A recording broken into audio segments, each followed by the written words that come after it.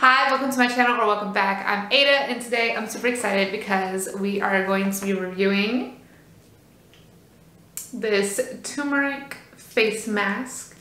I'm super excited to try this because turmeric is known for having like anti-acne, anti-aging type of properties as well as brightening and then reducing redness which I have a lot of redness on my skin like through here and I just love finding products that help reduce that redness. So hopefully this will do that. It does come with a little spatula, which is awesome when things come with that because then I don't have to search for mine. And then this is what the container looks like. And also has a vitamin C and aloe in it along with the turmeric. It also says that this is cruelty-free and organically made. This is what the product inside looks like. It looks really creamy, honestly. And it smells really good. So,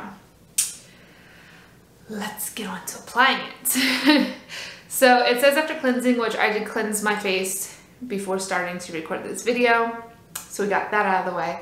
It says apply a small amount evenly once you face, leave on for 15 to 20 minutes until completely dry and then gently remove and rinse face with warm water. So let's do that. I am now blind. Even though they did provide one with it.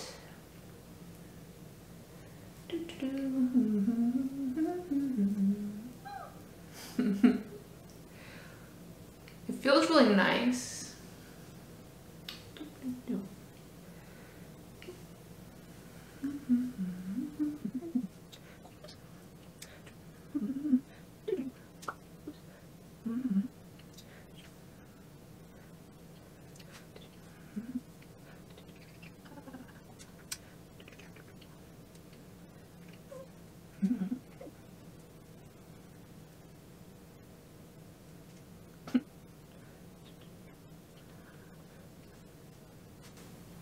So I will say, um, it feels really nice on the skin.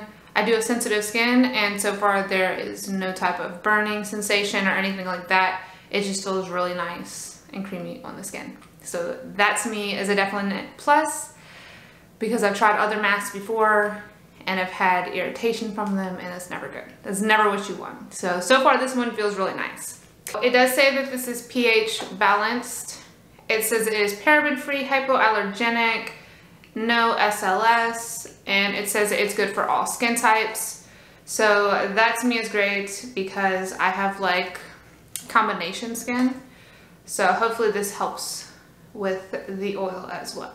One thing that is awesome about the company that does sell this is they have a 60 day money back guarantee. So if you purchase it and you are not happy with it, if maybe you have like a bad skin reaction from it, if your skin just does not agree with it, or you just don't like it for any reason, they do have a 60 day money back refund. So that's definitely a plus. I like when companies do stand behind their products like that.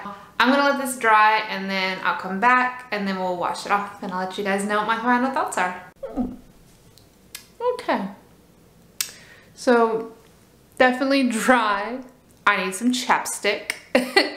but now that it's all dry, I'm gonna go wash it off and then I'll come back and let you guys know what I think. I think the skin looks pretty, pretty good. You know, I did get chapstick. Um, no, I mean, my skin does not feel, it doesn't feel dried out. It feels really soft. Now, granted, this is the first time using it. So I'm going to continue to use it to see, you know, kind of how my skin likes it. But so far, I really like it. My skin feels so soft right now.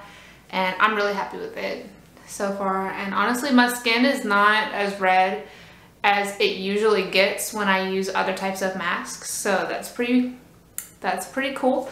And it was actually pretty easy to wash off in terms of a clay mask if you've used, if you have used clay masks before, you know, sometimes they do take a little bit to, to rinse them all the way off, but it definitely wasn't any harder than any other clay mask to get off. So I'm super happy with it.